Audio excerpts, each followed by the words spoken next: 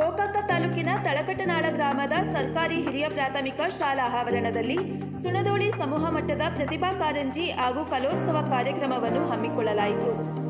ಸುಣದೋಳಿ ಕ್ಲಸ್ಟರ್ನಲ್ಲಿ ಬರುವ ಸರ್ಕಾರಿ ಕಿರಿಯ ಪ್ರಾಥಮಿಕ ಹಾಗೂ ಪ್ರಾಥಮಿಕ ಮತ್ತು ಪ್ರೌಢಶಾಲೆಯ ಒಟ್ಟು ಇಪ್ಪತ್ತೆರಡು ಶಾಲೆಯ ವಿದ್ಯಾರ್ಥಿಗಳು ಈ ಪ್ರತಿಭಾ ಕಾರಂಜಿ ಸ್ಪರ್ಧೆಯಲ್ಲಿ ಭಾಗವಹಿಸಿದ್ದರು. ಈ ಪ್ರತಿಭಾ ಕಾರಂಜಿ ಕಾರ್ಯಕ್ರಮದಲ್ಲಿ ಶಿಕ್ಷಣ ಕ್ಷೇತ್ರಕ್ಕೆ ಸಂಬಂಧಿಸಿದ ಸಂಘಗಳ ಜಿಲ್ಲಾ ಮತ್ತು ತಾಲೂಕು ಮಟ್ಟದ ಸದಸ್ಯರು, ಅಧ್ಯಕ್ಷರು ಹಾಗೂ ತಳಕಟನಾಳ ಗ್ರಾಮ ಪಂಚಾಯತ್ ಸದಸ್ಯರು, ಅಧ್ಯಕ್ಷರು ಹಾಗೂ ಗ್ರಾಮದ ಗುರು ಹಿರಿಯರು ಉಪಸ್ಥಿತರಿದ್ದರು. ಕಾರ್ಯಕ್ರಮದಲ್ಲಿ ಸುಣದೋಳಿ ಕ್ಲಸ್ಟರ್ನಲ್ಲಿ ಶಿಕ್ಷಕರಾಗಿ ಸೇವೆ ಸಲ್ಲಿಸಿ ನಿವೃತ್ತಿ ಹೊಂದಿದ ಹಾಗೂ ಬೇರೆ ಕ್ಲಸ್ಟರ್ಗೆ ವರ್ಗಾವಣೆಯಾದ ಮತ್ತು ಬೇರೆ ಕ್ಲಸ್ಟರ್ದಿಂದ ಸುಣದೋಳಿ ಕ್ಲಸ್ಟರ್ಗೆ ವರ್ಗಾವಣೆಯಾಗಿ ಬಂದ ಶಿಕ್ಷಕರಿಗೆ ವಿಶೇಷ ಸನ್ಮಾನ ಮಾಡಿ ಗೌರವಿಸಲಾಯಿತು.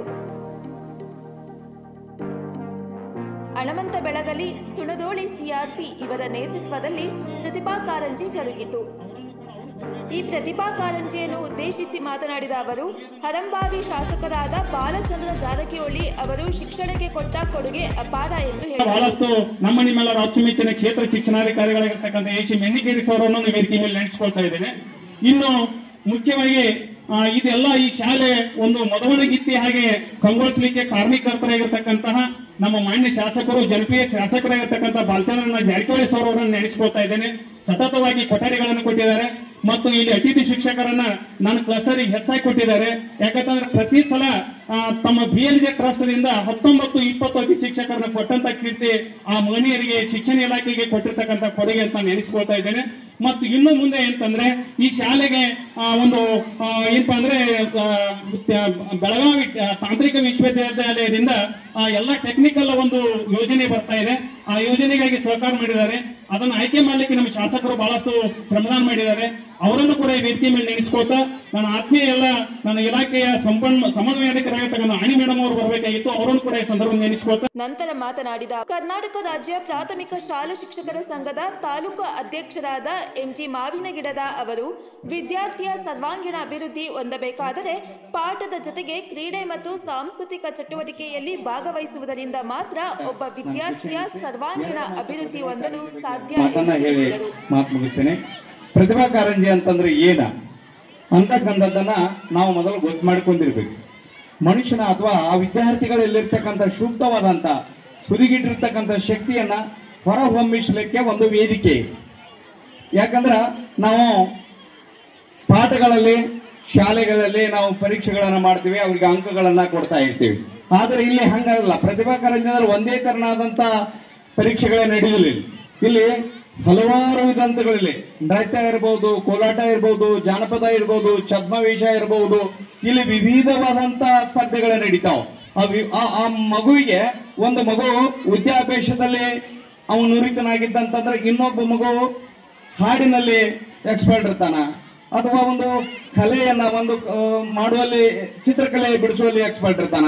ಹೀಗೆ ವಿವಿಧ ಆಯಾಮಗಳನ್ನ ಮಕ್ಕಳಲ್ಲಿರ್ತಕ್ಕಂಥ ಶಕ್ತಿಯನ್ನ ಹೊರಹೊಮ್ಮಿಸ್ತಕ್ಕಂಥ ಒಂದು ಉಮ್- ಉತ್ತಮವಾದಂತ ಒಂದು ವೇದಿಕೆ ಇದೆ. ಅಂತ ವೇದಿಕೆಯನ್ನ ಎಲ್ಲಾ ಮಕ್ಕಳು ಸದುಪಯೋಗ ಪಡಿಸಿಕೊಳ್ಬೇಕಂತ ನಾನು ವಿನಂತಿ ಮಾಡ್ತಾ ಇದ್ದೇನೆ. ಈಗಾಗಲೇ ಕ್ರೀಡಾಟು ಕ್ರೀಡಾಕೂಟಗಳು ಸಹ ಇಲ್ಲಿ ನಡೀತಾ ಇದ್ದಾವೆ.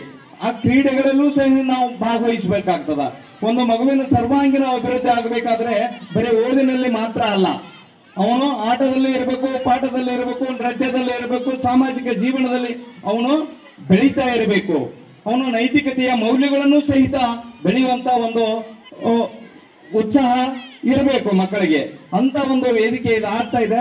ಒಂದು ನಾನು ಈಗ ಪ್ಯಾರಾ ಒಲಿಂಪಿಕ್ ನಡೆದಿದೆ. ಪ್ಯಾರಾ ಒಲಿಂಪಿಕ್ನಲ್ಲಿ ಐದು ಚಿನ್ನದ ಪದಕಗಳನ್ನ ಭಾರತೀಯರು ಗೆದ್ದುಕೊಂಡಿದ್ದಾರೆ.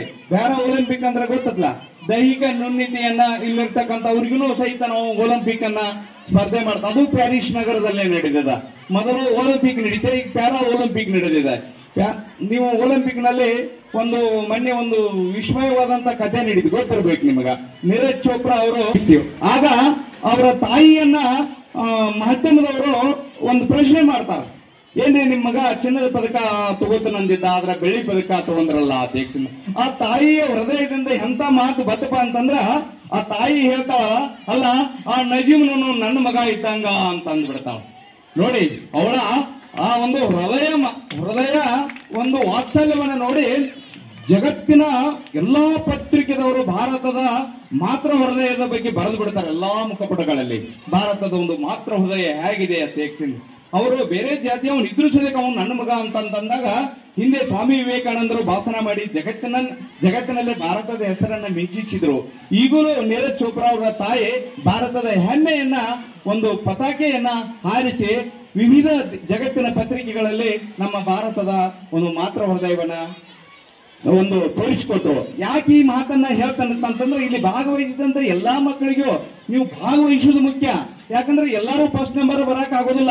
ನೀವು ಒಂದು, ಎರಡು, ಮೂರು ಬರ್ತಾವ. ಅದಕ್ಕ ನೀವು ಹಂಗ ಪ್ರೋತ್ಸಾಹ ಇರ್ಬೇಕು. ಒಂದೇ ಬಂದಾವ್ ಇನ್ನ ಎತ್ತರಕ್ಕೆ ಹೋಗಿ ಅನ್ಬೇಕು. ಎರಡನೇ ಬಂದಾವ್ ಒಂದ್ ಬಾ ಅನ್ಬೇಕು. ಮೂರು ಬಂದಾವ್ ಒಂದ್, ಎರಡನೇ ನಂಬರ್ ಬಾಣ ಹಿಂಗ ನೀವು ಒಬ್ಬರಿಗೊಬ್ಬರು ಪ್ರೋತ್ಸಾಹವನ್ನ ಕೊಡ್ತಕ್ಕಂತ ಕೆಲಸ ಆಗ್ಬೇಕು ಅಂತ